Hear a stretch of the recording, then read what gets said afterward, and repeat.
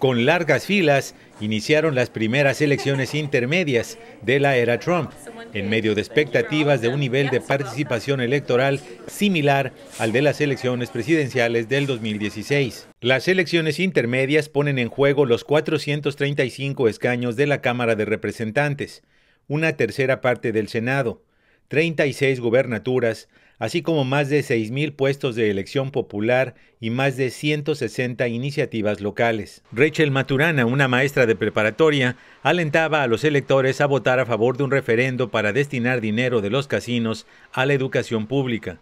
Yes, please. It's very important. It's important to have your voice. I think education, democracy is what equalizes us as a nation.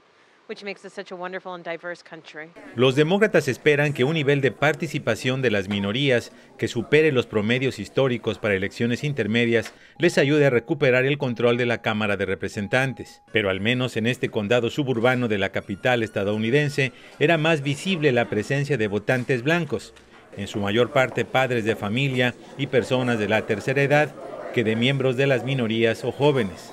Los votantes tuvieron que hacer filas primero para entrar al centro de votación, una fila adicional para registrarse. Tuvieron que esperar su turno para llenar las boletas electorales y después hacer una nueva fila para depositar el voto. Después de completar el proceso, cada votante podía tomar una pequeña calcomanía con la leyenda Yo voté.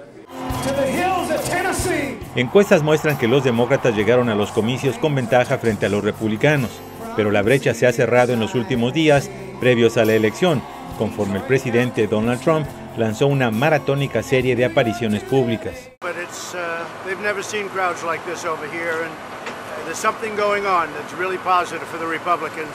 Aunque los republicanos deseaban hacer campaña promoviendo sus logros económicos, incluida la caída en la tasa de desempleo, el presidente optó por colocar en un primer plano de atención pública la caravana de migrantes centroamericanos y el tema migratorio. Desde la corresponsalía de Notimex en Washington, José López Zamorano.